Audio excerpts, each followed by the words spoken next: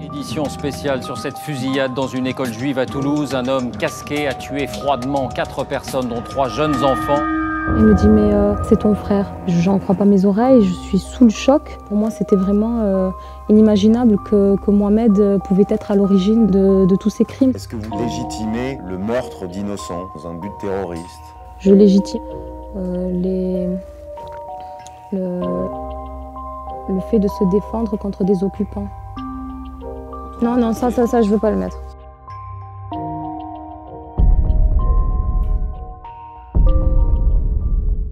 Quand on a appris, ma mère a foulé, euh, qui m'appelle, qui me dit fais attention, il y a un tueur. Euh, euh, moi, dans la rue, je marchais complètement effrayée. Je prenais même plus la poussette, je gardais mon fils dans mes bras. Je me suis dit bon, on sait jamais si, euh, ce, tueur au scooter devait passer. Le fait d'avoir mon fils dans les bras, ça me permettrait de mieux le protéger.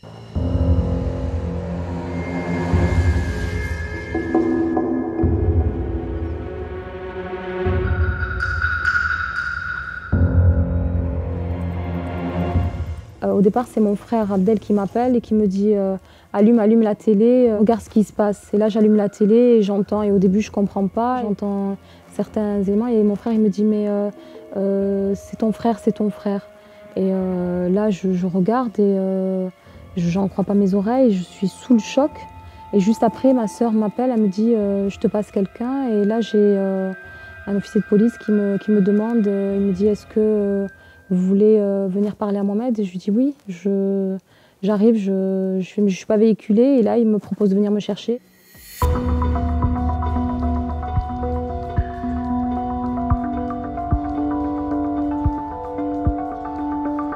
Quand j'arrive et que je vois tous ces, tous ces camions de police, tous ces policiers, tout ce qu'il y avait autour, et euh, c'est là où je, je, tombe, je me suis évanouie, je me suis retrouvée euh, dans une ambulance. Pour moi, c'était vraiment euh, inimaginable que, Mohamed pouvait être à l'origine de, tous ces crimes. Mohamed, c'est un enfant pourri gâté. Il a toujours eu ce qu'il voulait. Ma mère était à son service. Mon père l'aimait tellement qu'il qu était également à son service, que ce soit financièrement, au niveau des jouets, au niveau des cadeaux. Euh, C'était vraiment quelqu'un de, de, très capricieux. On ne pouvait pas avoir de débat avec lui parce que et la discussion, elle s'arrête et puis il s'énerve et euh, il claque la porte et il s'en va.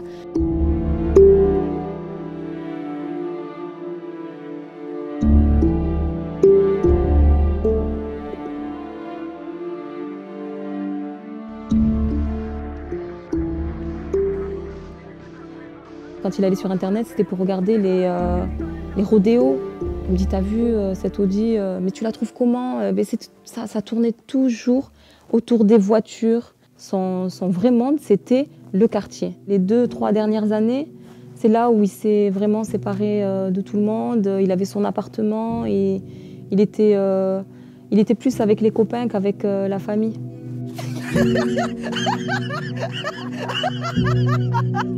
On va essayer de déraper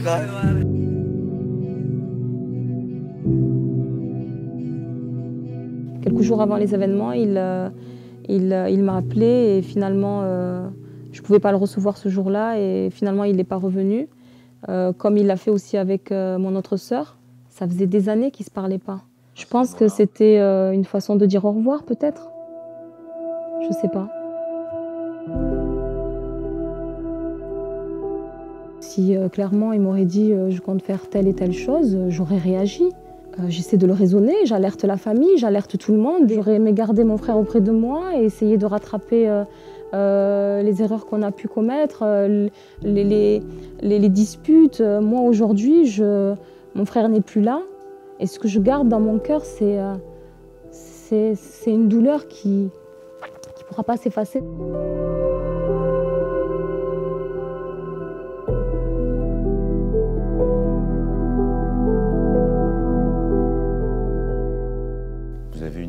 Quelqu'un l'a manipulé, il s'est monté la tête dans ses voyages. Je pense plus au voyage. Il a fait des voyages, il a dû voir des choses peut-être, je ne sais pas, qui ont dû le, qui ont dû le, le bouleverser, qui ont dû le, le choquer. Et, et de voir euh, toutes ces choses horribles l'ont peut-être amené à, à commettre des actes.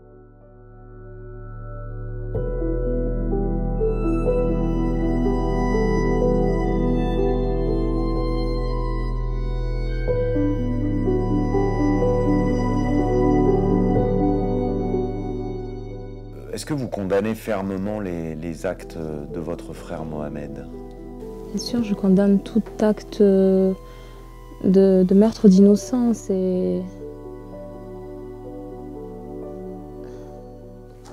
Je sais pas quoi dire en fait. On va refaire la question. Est-ce que vous, à un moment ou à un autre, vous avez eu envie de sauter le pas, de, de passer à l'acte comme votre frère? Pas du tout. Euh, vous voyez bien, euh, j'ai fondé une famille. J'essaie de pratiquer ma religion. C'est vrai que la religion, c'est tout pour moi. C'est quelque chose de très important et ça passe euh, avant toute chose. Et nous avons des, une pratique rigoureuse de la religion, mais il ne faut pas faire l'amalgame entre une pratique religieuse et, et la haine d'une religion. C'est complètement différent. Vous dites « je pense du bien de Ben Laden ». Qu'est-ce que ça veut dire exactement? Quand je dis que je pense du bien de Ben Laden, en tant que musulmane, je n'ai pas le droit de penser de- du mal d'un autre musulman. Dans, dans l'islam, nous sommes tous frères, nous sommes tous sœurs. On, on se doit de se trouver des excuses, on se doit de, de se soutenir. Ben Laden, c'est aux yeux du monde euh, terrorisme euh, international. C'est l'incarnation du mal. Les actes de terrorisme, est-ce que vous les justifiez d'une certaine manière quand ils servent la cause euh, musulmane? Euh, Excusez-moi, là, je commence à être stressée, j'ai chaud. On va prendre deux secondes.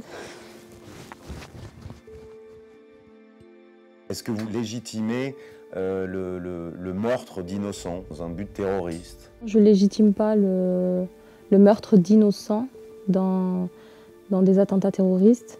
Je légitime par contre euh, euh, les, le, le fait de se défendre contre des occupants. Non, non, ça, ça, ça, je veux pas le mettre. ça, Ça risque de se retourner contre moi.